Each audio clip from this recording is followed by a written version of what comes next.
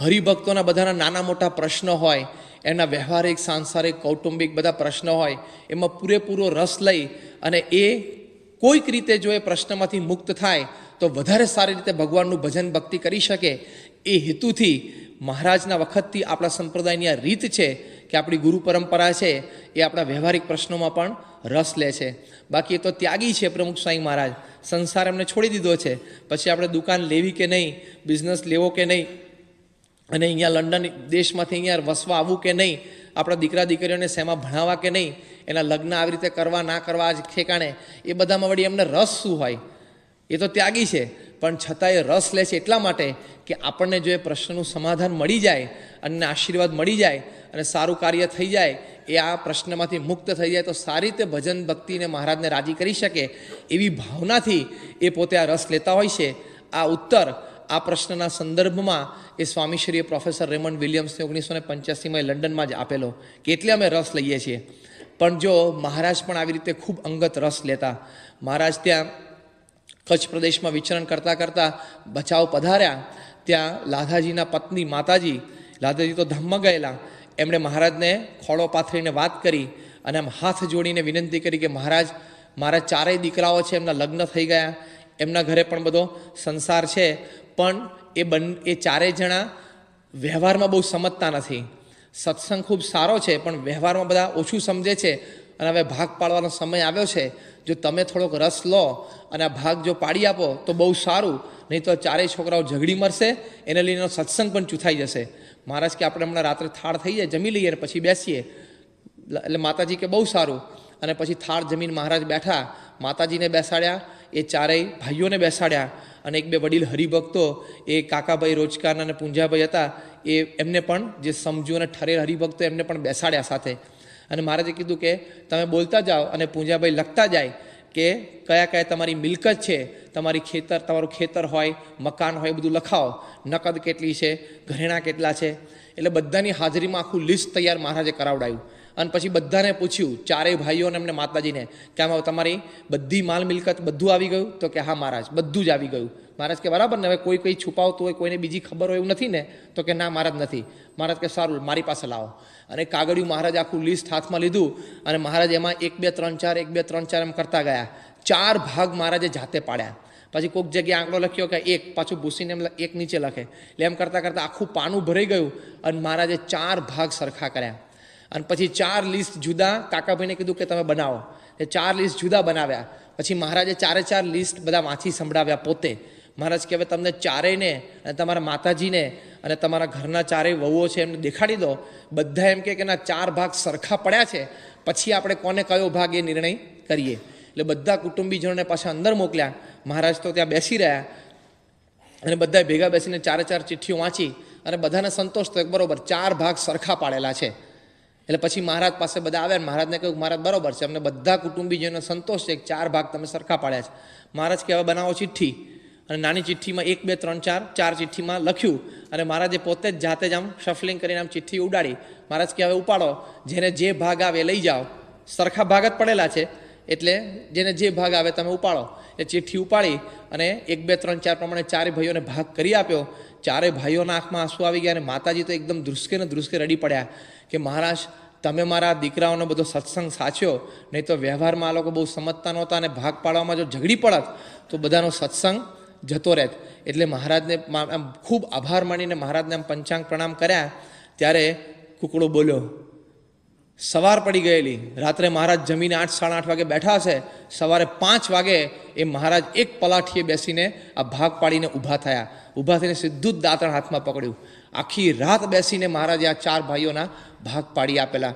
એમ પ્રમુખ સ્વામી મહારાજે પણ આ ભક્ત વત્સલપણાના દાવે કેટલા બધા હજારો કુટુંબ આજે સત્સંગમાં છે, એના વ્યવહારમાં ઘણો બધો રસ લઈ અને મહારાજે એમને વ્યવહારની બધી સ્વામી અનુકૂળતા કરી આપી છે. અને ઘણા બધા ફેમિલી તો આપણે એમ કહી શકીએ કે દે એક્ઝિસ્ટ બિકોઝ ઓફ પ્રમુખ સ્વામી. પ્રમુખ સ્વામીના લીધે એમનું અસ્તિત્વ છે. બાકી તો વેરણ છેરણ થઈ ગયું તે કુટુંબ. કેટલી બધી તકલીફો કુટુંબોમાં હોય.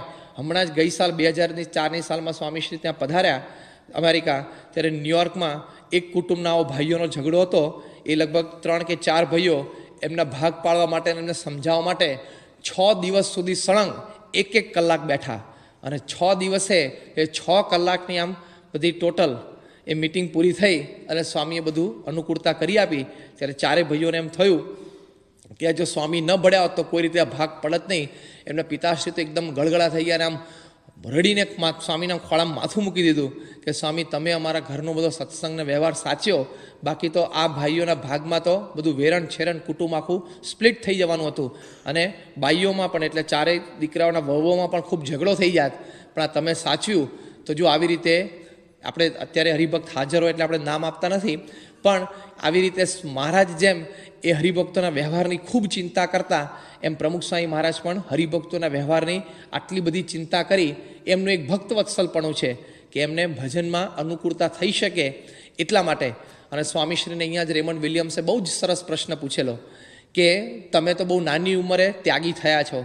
તમે લગ્ન કર્યા નથી એટલે તમને કોઈ સંસાર વ્યવહારની એટલે કે બૈરા છોકરાના પ્રશ્નની કંઈ જ ખબર નથી. તમે કંઈ નોકરી ધંધો કે વેપાર પણ નથી કર્યા, એટલે તમને એ સંબંધી પણ કંઈ વાત ખબર નથી. તો આટલા હજારો લોકો તમારી પાસે આવે છે અને આવી જ મૂંઝવણો ઠાલવે છે, આવા જ પ્રશ્નો રજૂ કરે છે અને તમે પ્રેમથી, છૂટથી માર્ગદર્શન આપો છો કે આમ આશીર્વાદ છે, વાંધો નહીં, દુકાન વેચી કાઢ. આશીર્વાદ છે, લગ્ન કરી નાખ, નથી કરવું આ, તું રહેવા દે. હા, ના હા ના હા, ના જ કરો છો, સવારથી ઉઠીને. અને અત્યારે જો સ્વામીનું પોઝિશન જ એવી છે, સવારથી ઉઠીને એમને ડિસિશન જ આપવાના. અને આપણે કહી શકીએ કે આપણે સભામાં બેઠા છીએ, એ આપણે બધા જ ભેગા થઈને આપણી જિંદગીમાં જેટલા નિર્ણયો લેશું એટલા તો પ્રમુખ સ્વામી એક અઠવાડિયામાં લે છે. આ ઉંમરે પણ. એટલે એટલા બધા સવારથી ઉઠી એમને હા ના જ કરવાની અને કેવા ગંભીર પ્રશ્નો સ્વામીશ્રી પાસે આવતા હોય છે. અને આપણને પ્રશ્નો સાંભળીએ ને તો આપણને એમ થાય, તમારા આપણા બધાના જ પ્રશ્નો હોય છે કે બીજી કોઈ વ્યક્તિ હોય ને તો ગાંડા થઈ જાય. સંત સ્વામી જેમ કહેતા કે કોઈને એમ થાય કે હું ગાદીએ બેસું, મજા આવે એવું છે, આટલા આખો લોકો આમ હાથ જોડે જય બોલાવે પણ પ્રમુખ સ્વામીની જગ્યાને બેસાડ્યો તો અડધો કલાકમાં ગાંડો થઈ જાય. ચક્કર ફરી જાય. અને વિવેક સાગર સ્વામીની ઇન્ટરવ્યૂમાં મેં બાપાની હાજરીમાં ત્યાં વિદ્યાનગરમાં યુવકોએ પૂછેલું કે તમે આટલા વર્ષોથી સ્વામીની સાથે છો, એક ગુણ તમને કયો સ્પર્શી ગયો છે? ત્યારે વિવેક સાગર સ્વામી એકદમ આંખમાં ઝરઝડી આવી ગયેલા. અને સ્વામીની હાજરીમાં જ બધા સ્ટાફના સંતોનો ઇન્ટરવ્યૂ હતો સાયમ સભામાં ત્યારે બોલેલા કે પ્રમુખ સ્વામી મહારાજની માનસિક સ્થિરતા. એમની જે ગજબની મેન્ટલ સ્ટેબિલિટી છે ને, કેટલા દ્વંદ્વોની વચ્ચે એક સ્થિર રહી શકે છે, નિર્ણય આપી શકે છે, એમની ગજબની સ્થિરતા છે. પણ રેમન્ડ વિલિયમ્સે આ પ્રશ્ન પૂછેલો, પણ આવા પ્રશ્નોની વચ્ચે સ્વામી કેવા સ્થિર રહી શકે છે? પણ એ પ્રેમથી આ બધું માર્ગદર્શન આપણને હેતથી, પ્રેમથી બધું જ પૂછે છે. બધું જ તમે કહો દુકાનનું પૂછો એટલે આગળ પાછળનું બધું પૂછે કેટલો ધંધો થાય છે, કોણ વેચનાર છે, કેટલા વર્ષથી દુકાન ચાલે છે, શું અંદર માલ વેચો છો, બીજા શું શું સ્કોપ છે ત્યાં આજુબાજુ બીજી એવી દુકાનો છે કે નહીં? એમનું ક્વેશ્ચનર આખું શરૂ થાય છે ને, એક પ્રશ્ન લઈને જાઓ એટલે તમને સામે દસ પ્રશ્ન પૂછે. આમ આપણને એમ થાય કે આટલા તો મેં નહોતા વિચાર્યા, પણ એ જો સ્વામીના જીવનની એક આ વિશેષતા છે. એક સેમ્પલ પ્રશ્ન રજૂ કરો, તમે જો જવાબ આપજો. આમાં શું થાય? કોક એમ કે મારે ટ્રાન્સફર લઈને અહીંયાથી મારે ગવર્મેન્ટ જોબ છે ને કન્ટ્રીમાં ક્યાંક જવાનું છે અને આવી રીતે પ્રોબ્લેમ એ છે કે મારા દીકરા દીકરીઓ અહીંયા કોલેજમાં સ્કૂલમાં ભણે છે અને ઇમ્પોર્ટન્ટ યર્સ છે બધા કરિયર ઓરિએન્ટેડ યર્સ છે. જો હું અત્યારે ટ્રાન્સફર લઈને જાઉં તો આ છોકરા છોકરીને ભણવામાં ડિસ્ટર્બ થાય એમ છે. અને ટ્રાન્સફર લઈને ના જાઉં તો ફરી વખતે ટ્રાન્સફરને પ્રમોશન મને એ સાત વર્ષે મળશે. અને પ્રમોશનની ખૂબ જરૂર છે, પગાર વધારો થાય એની માટે. સામે દીકરા દીકરી પાછળ એકલા રહી શકે એમ નથી, કોઈ સગાવાલા નથી ક્યારે એવો પ્રશ્ન છે. તો હું શું કરું ટ્રાન્સફર લઈને જાઉં કે ના જાઉં?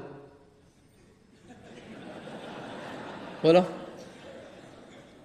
આ તો પેલો વ્યક્તિ પ્રશ્ન રજૂ કરે ને, તો સ્વામી એમ કહેવાનું કે એમ કર, હું વિચારું તું એમ કર ને નવ વાગે મને, રાત્રે મને નવ વાગે એવું કહેવાય. રાત્રે નવ વાગે એના જેવા પચીસ લાઇનમાં ઊભા જ છે. અને અત્યારે રજૂ કરે છે એની પાછળ પચીસ પાંત્રીસની લાઈન બધી આવી જ છે.